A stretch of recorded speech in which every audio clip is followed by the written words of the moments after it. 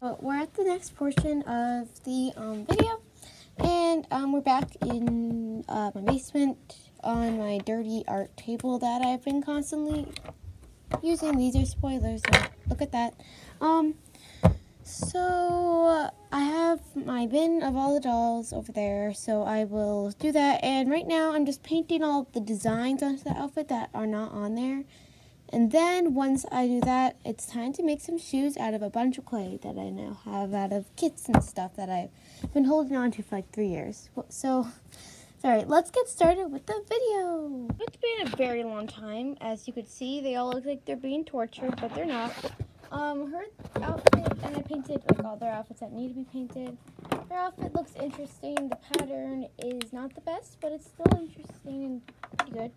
Um, I made his design. The black spots over kind of messed it up, but that's what he had. I just didn't do it right. Ravens looks pretty good, honestly. Then um, we have Briar, and I also like hers. Hers is nice. Then we have Clawdeen. Hers is probably my favorite. It came out actually really, really good. Then we have Cleo, which is also uh, pretty good. Then we have, I don't know her name, but um, it starts with like a B or something. Then this is Maddie. I like her outfit too. It's really pretty. And then we have Gills, which uh, came out interesting. So um, now it's time to make some shoes. And every time I make a pair of shoes, um, I'll show it to you. Well, when I'm all done making all of them, I'll show it to you. And then um, I'll paint them and I'll show it to you at the end. So yeah. Then we're in my music basement. And um, it's very messy. As you see, clay's everywhere. And I tell you everywhere. So I'm actually not going to show you all the shoes today because I did not finish all of them. And I really want to complete all the shoes. Sorry. I really want to complete all the shoes before I um, like show you them all. But here's just a um, little bit of how I have them drying. And um, Alright, but before the video officially ends, I have two things to say.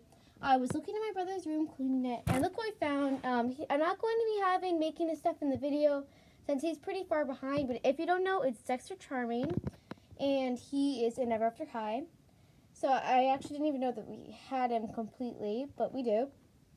Also, I realized that I, well, I, when I found her shoe today, like her, this is her real shoe. Um, if you don't know, the Mod Podge isn't done drying, but I found this also with Dexter, and then I was looking at the pictures I was using to make this shoe, and I was like, oh my gosh, why does this look so different? And it's because I've been making the wrong outfit and everything on her. I thought she was a total, I thought she was the original Raven Queen, but she came in like this uh, date pack with Dexter. So, um, yeah.